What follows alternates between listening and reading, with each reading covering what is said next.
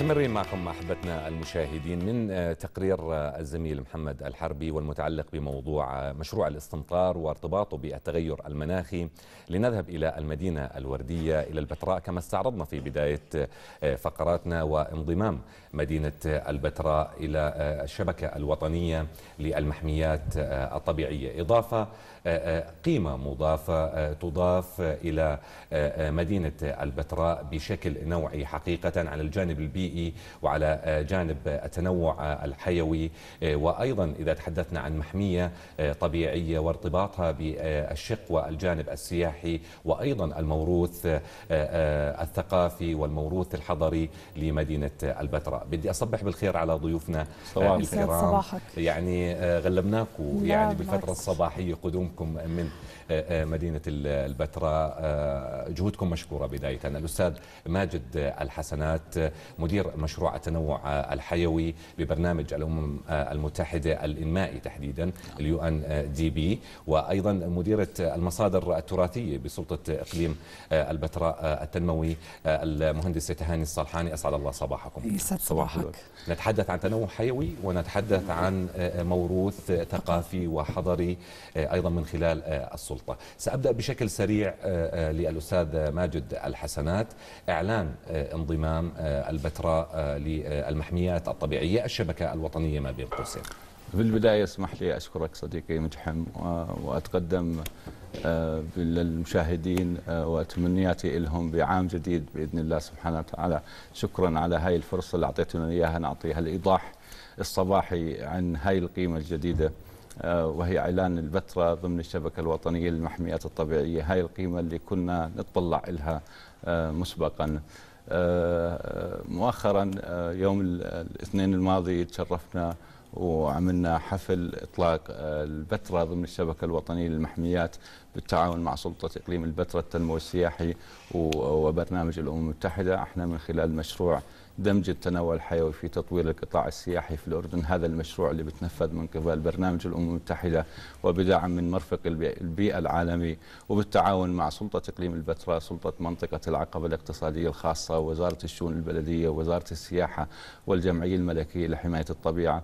هذا المشروع اللي صار له ثلاث سنوات إحنا بالسنة الثالثة الآن مشروع مدته أربع سنوات. نتطلع مع الشركاء أن نحقق أهداف المشروع اللي بتتضمن أنه يكون موضوع صون التنوع الحيوي وحمايته ضمن الأنشطة وضمن التعليمات ضمن الخطط للقطاع السياحي بشكل عام. إذا جينا نحكي عن القيمة المضافة لإعلان البتراء للشبكة الوطنية للمحميات يعني بصراحة أنا حزنان عليك لأنه كل اليوم بنقضيه وإحنا بنحكي عن هذه القيمة لكن بدنا نحكي بإضاءة سريعة. البتراء زي ما بتعرفوا هي أعجوبة الثانية من عجائب الدنيا السبعة وليست عجوبة وليس فقط البتراء في قيمة الأثرية الموجودة فيها. صحيح. البتراء فيها قيم وفيها كنوز عديدة ومن أهم هذه الكنوز الموجودة القيمة الطبيعية. يعني من القيمة الطبيعية؟ أنتقل إلى مديرة المصادر التراثية وهذا التنوع والتناغم والارتباط المباشر من السياحة إلى الموروث الحضري إلى التنوع الحيوي والبيئي. دور السلطة بشكل مباشر وهي إن صح الوصف رافعة حقيقية سلطة إقليم نعم، صحيح. البتراء التنموي السياحي أيضا لمدينة البتراء. دعني أخي مجحم في بداية أتحدث بصورة مختصرة عن تأسيس سلطة إقليم البتراء التنموي السياحي. في عام 1985 تم إدراج محمية البتراء الأثرية على قائمة التراث العالمي لليونسكو. كان لابد من وجود جسم قوي لا مركزي يقوم بحماية الموقع الأثري وتنمية المجتمعات المحلية الستة الموجودة في منطقة الإقليم. لذا تم تشكيل أو تأسيس ما يسمى بمجلس تنظيم الإقليم.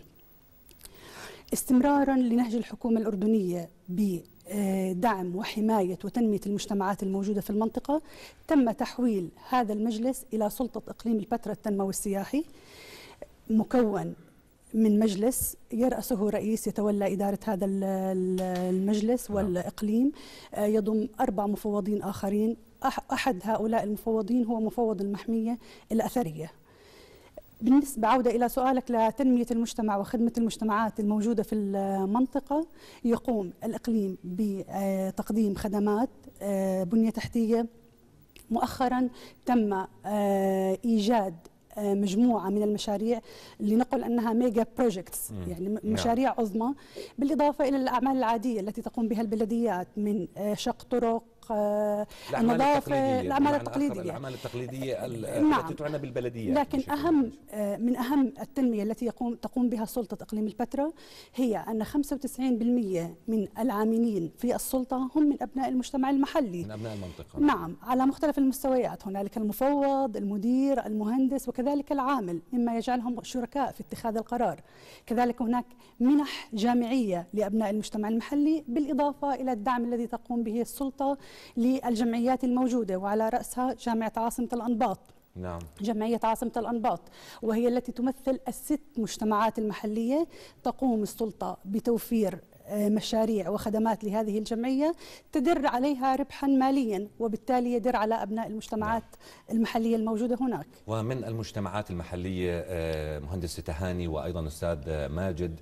آه، لنذهب إلى المادة آه، الفيلمية إلى سحر الطبيعة والتنوع آه، الحيوي. نعم. آه، وأيضا المشاهدين توقين الآن لمشاهدة آه، هذا التنوع الحيوي بالمدينة الوردية آه، بالبتراء أحبتنا لنذهب إلى المادة الفيلمية بدقائق معدودة. ونعاود حديثنا مع ضيوفنا الكرام.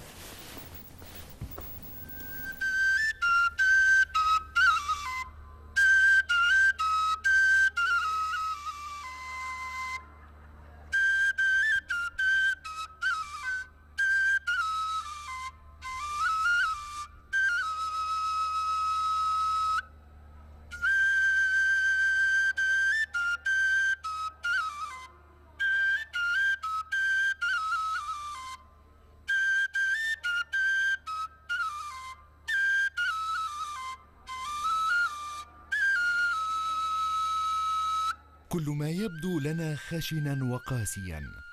كان لحنا عذبا لمن سكنوا هذا المكان. كان يشدو بناي من القصب يجتاز فيه التلال والوديان. يتنفس بأغنية جديدة. يلد فيها قلب هذا الرجل الجالس شاديا بما لا يوصف من كلمات.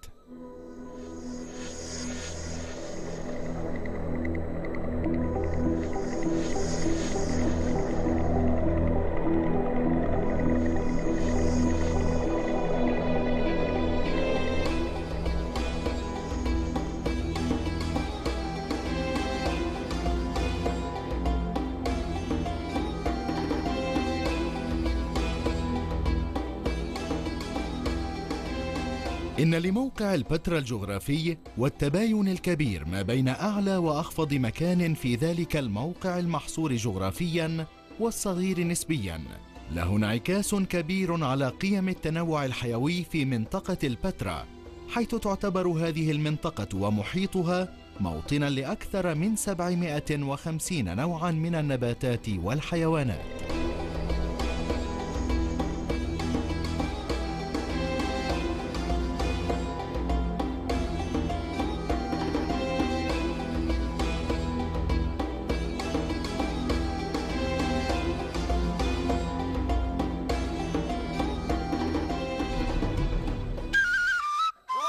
ربيت يا أخي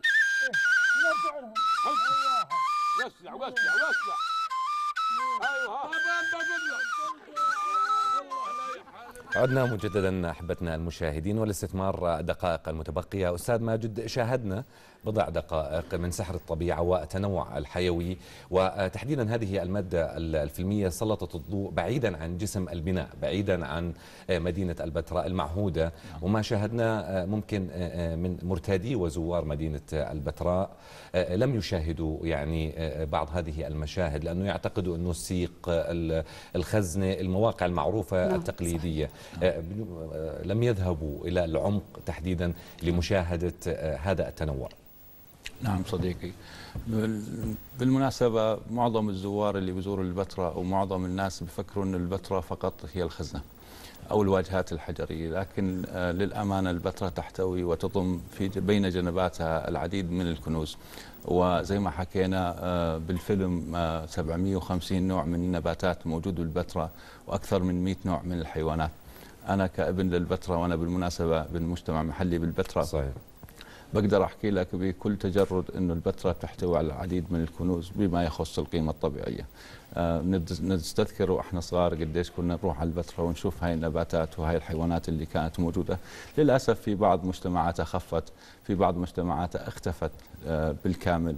آه، بنحاول من خلال هذا المشروع بالشراكه مع سلطة تقليم البتراء إنه نعيد هذا الالق، فرج الزائر بالضبط من خلال عيوننا كمجتمع محلي شو الأشياء اللي موجوده بالبتراء يشوفوا أشياء غير آه، الخزنة يشوفوا أشياء طبعا الخزنة بتسحرنا كنا صحيح. لكن في جوانب أخرى قد تسحر الزائر قد نبني منتج آه، سياحي جديد يعتمد بقيمته بالكامل على على القيمة الطبيعية ممكن من خلال هذا المنتج نزيد فترة إقامة الزائر إحنا بنحكي بفترة إقامة الزائر ونزيدها لأنه كل ما زادت فترة إقامة الزائر كل ما استفاد المجتمع المحلي صحيح. صحيح. كل ما استفادت الدولة بشكل عام وإحنا بنحكي عن القطاع السياحي أحد أعمدة الاقتصاد الوطني فكل ما اعتنينا بهذا القطاع كل ما زادت آه، قيمه المادية والاقتصادية المستفادة من هذا نعم. المسؤولية الملقاة على عاتق السلطة آه، الآن سلطة تقديم البتراء التنموي آه، فور إعلان وانضمام مدينة البتراء للشبكة الوطنية للمحميات الطبيعية. نعم. ال- المسؤولية كبيرة جدا. لكن الحمد لله بوجود الخبرات الكبيرة الموجودة في السلطة سنقوم بوضع الترتيبات الإدارية آه، والمؤسسية لتشكيل وتأسيس وحدة للتنوع الحيوي آه، تقوم ب مجال آه، صون والحفاظ على هذا المنتج الطبيعي الموروث الطبيعي المهم في البتراء كما تفضل زميلي المهندس ماجد. بالإضافة إلى ذلك بحاجة إلى خطة إدارية لهذه المحمية الطبيعية. وقد قمنا كمحمية بتراء أثرية منذ أكثر من عام بتأسيس وعمل آه، خطة إدارة للموروث ال- الثقافي الأثري بالتعاون مع دائرة الآثار العامة ومكتب اليونسكو عمان. وكذلك من خلال مشروع ال UNDP تم إعطاء محورين رئيسيات في الخطة الإدارية للمحمية الأثرية تخص وتعنى بالحفاظ على الموروث الطبيعي. كذلك نحن بحاجة إلى تدريب الكادر وتأهيله للحفاظ على هذا الموروث الطبيعي وبناء قدرة للتعامل والتعاون مع المجتمعات المحلية مع المؤسسات الوطنية والدولية من IUCN ولا اليونسكو ولا الجهات المانحة. آه، كذلك نحن بدأنا منذ أكثر من عام وبالتعاون مع مشروع التنوع الحيوي مع أخي المهندس ماجد ببناء قاعدة بيانات لهذه التنوع الحيوي النباتي والحيواني بحاجة إلى الاستمرار في تحسين وتطوير هذه القاعدة بحاجة كذلك إلى بناء ودعم برامج آه، تعنى بالسياحة البيئية كمنتج ورافد آخر للسياحة. نعم آه، باشمهندس آه، بالمحور ال- الأخير حقيقة. إذا تحدثنا عن برنامج الأمم المتحدة الإنمائي لاعب رئيس حقيقة آه، بانضمام آه، مدينة البتراء آه، إلى شب- الشبكة الوطنية للمحميات الطبيعية. للقادم بدقيقة والله القادم إن شاء الله إنه جميل مثل اللي الله. الفترة اللي اللي, مرت.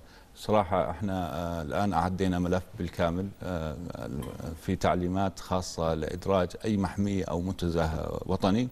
التزمنا بهذه التعليمات عدينا ملف بالكامل بيحتوي على كل التفاصيل اللازمة للإعلان. الملف تسلم لمعالي وزير البيئة بالاحتفال الماضي. الآن آه، راح تتشكل لجنة من قبل وزارة البيئة تدرس هذا الملف نعم. نعم. وتعطي توصياتها لمعالي وزير البيئة معالي وزير البيئة أيضا بتوصية راح يرفعها لدولة رئيس الوزراء لمجلس الوزراء حتى يتم البت بهذا الإعلان طبعا ما بيكتفي دورنا لهون إحنا شريك رئيسي نعم. مع سلطة إقليم البتراء راح نستكمل نعم. إحنا وياهم صحيح. المراحل القادمة ونطلع انه تكون البتراء موقع تراث خليج وأكيد نعم. نحن معكم يعني آه، للقادم من الأيام وأتحدث دائما أينما يكون الإنجاز ويكون آه، التنوع آه، حقيقة تكون عدسة وكاميرا التلفزيون الأردني حاضرة وتحديدا بهذه النافذة الصباحية برنامج يوم جديد. المهندس تهاني الصلحاني كل الشكر لتلبية الدعوة الكريمة. وأيضا المهندس. ماجد الحسنات شرفتونا آه، بقدومكم ونتمنى لكم عودة سالمة بإذن الله تعالى. أحبتنا فاصل. قصير ونواصل معكم. فابقوا معنا.